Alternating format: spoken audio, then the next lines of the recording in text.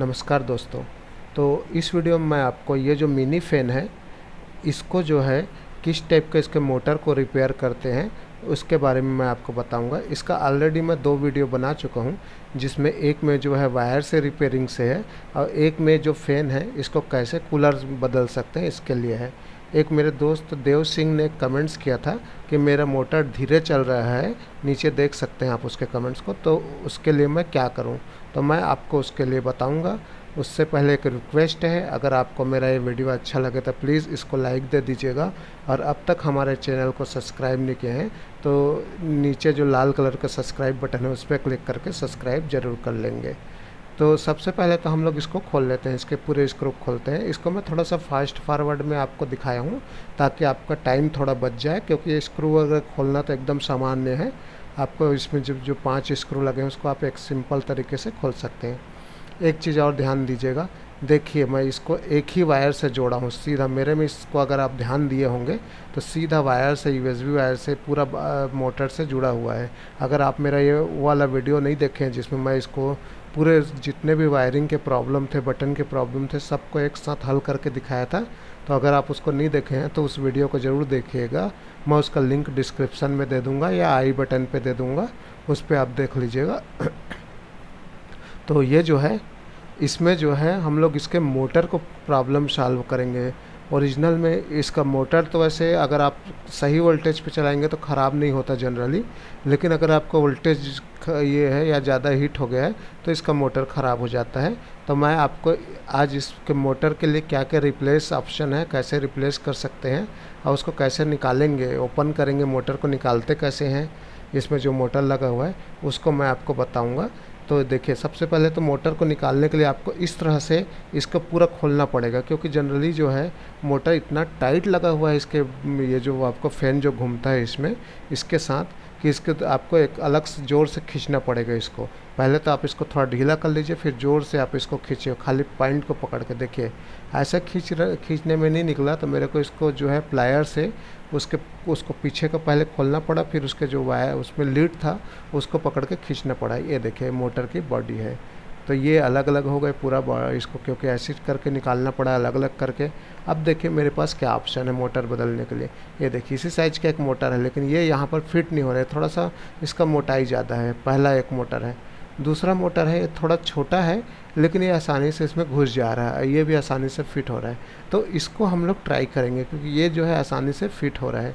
तो सबसे पहले तो इस मोटर को हम लोग लगा के देखेंगे कि ये लग पाएगा, काम करेगा कि नहीं करेगा, क्योंकि आसानी से फिट हो रहा है। इसलिए सबसे पहले तो इसी को ट्राई करना चाहिए। लेकिन एक गड़बड़ ये है कि इस मोटर की साइज़ जो है थोड़ी छोटी है।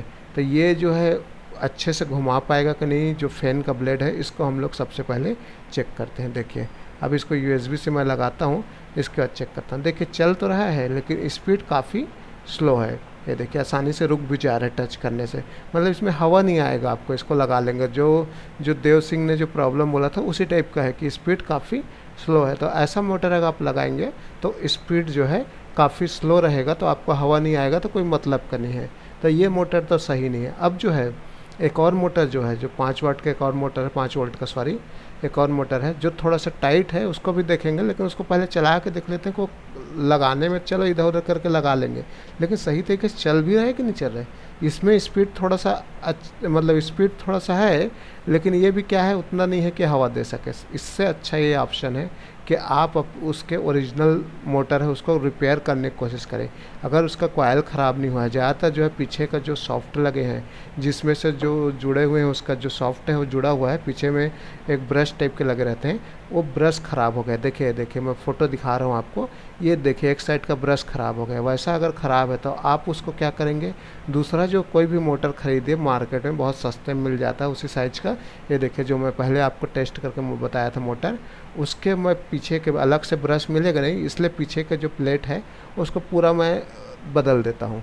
जो मेरा ओरिजिनल मोटर था, जो इस मशीन के साथ, या सॉरी, इस फ़ैन के साथ जो लग के आया था, उसके साथ जो मोटर मिले थे, उसको ही मैं क्या कर रहा हूँ, रिपेयर कर रहा हूँ। तो ज़्यादातर जो है, पीछे के जो ब्रश है, वो ख़राब हुए रहते हैं। तो उस ब्रश की जगह मैं जो पूरी पीछे का प्लेट को ही बदल देता हूँ। खाली ब्रश को रिपेयर कर पाने या ले या मिलना मुश्किल है तो ऐसा आप कोई भी दूसरा मोटर ले लीजिए सेम साइज़ का सस्ते मिलते हैं, दस बीस रुपये का।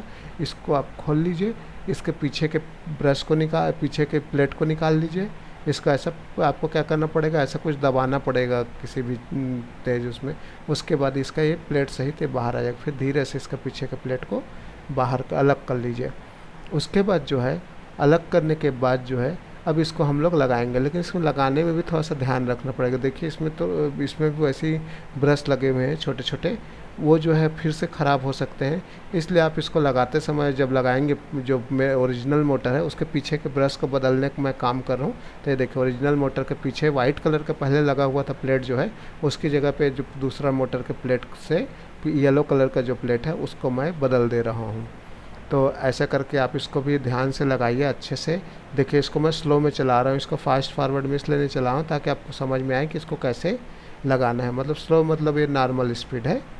अब जो है, इसको ऐसे दबा दीजिए पेचकस से जो किनारे किनारे है। उसके बाद जो है, अब इसको हम लोग क्या करेंगे टेस्ट करके देखेंगे जब ये हो गया तो।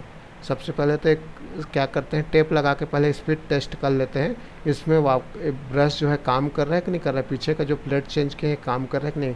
एक कर रहा है। घूम रहा है, इसका मतलब ये काम कर रहा है।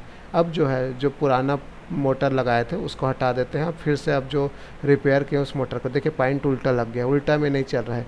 अब वापस पॉइंट को सीधा लगाते हैं, देखिए काम करना चालू हो गया। स्पीड पहले जैसे ही आ गया है। ओरिजिनल मोटर की जगह ही, जैसे ही मतलब जो पहले से ओरिजिनल मोटर ही है, बस पीछे का प्लेट तो पीछे का प्लेट को बदलने से स्पीड पे कोई फ़र्क नहीं पड़ा। तो अगर आपको पीछे का प्लेट बदल के अगर आप ओरिजिनल मोटर को रिपेयर कर पाते हैं तो सबसे अच्छा है क्योंकि ओरिजिनल मोटर को क्या किया है, इसी फ़ैन के हिसाब से डिज़ाइन किया यहाँ पर मैं प्लस को मार्किंग कर देता हूँ, क्योंकि जब मैं उल्टा लगाया था तो ये क्या है, नहीं घूम रहा था। तो ये बिल्कुल जहाँ पर जिधर प्लस रहेगा, उधर ही लगाना है और सीधा दिशा में ही घूमना चाहिए। इसलिए इसको क्या करना है, वैसे देख के लगाइए। वापस इसको लगा देते हैं जैसे लगा था तो वापस इसको फिट कर देते हैं, फिर से एक बार चेक करके देखते हैं। ये देखिए, सेम है, कोई फ़र्क नहीं पड़ा। तो इसको अब हम लोग क्या करेंगे, फिर आगे फिट करना स्टार्ट करेंगे। तो इसके सब बाकी जो ये क्योंकि नया प्लेट है, इसलिए यहाँ पर सोल्डरिंग के लिए हम लोग को क्या करना पड़ेगा? थोड़ा सा पेस्ट वगैरह लगाना पड़ेगा, रांगा लगाना पड़ेगा। तो हम लोग अब इसको क्या करते हैं? सोल्डरिंग करते हैं। वही पुराने जो यू एस वायर थे, उसी को हम लोग फिर से इसमें क्या करेंगे? सोल्डरिंग कर देंगे। तो ये यू एस वायर को जो मैं सीधा सीधा लगा दिया था, इसका फ़ायदा ये मिला कि ये जो ये जो छोटे मिनी फ़ैन है इसमें जो बहुत सारे प्रॉब्लम आए थे, कभी स्विच का प्रॉब्लम आ रहा था, कभी वायर ख़राब हो रहा था, कभी जिसमें यू वायर लगाने का पॉइंट दिया था, वो ख़राब हो रहा था, वो सब इस वायर को बदलने से सॉल्व हो होगा इसमें क्या है, एक मोटर लगे हुए हैं और ये वायर है। तो वायर को बदलना है या और मोटर को बदलना है? अगर आप दोनों को बदलना सीख गए, दोनों को अगर आप सही तरीके से फिट कर लिए तो आपको इसमें कभी प्रॉब्लम नहीं आएगा। जैसे अब जो है, मैं वायर को सोल्डरिंग कर देता हूँ, इसके मोटर के दोनों दोनों पॉइंट पर मैं सोल्डरिंग कर लेता हूँ।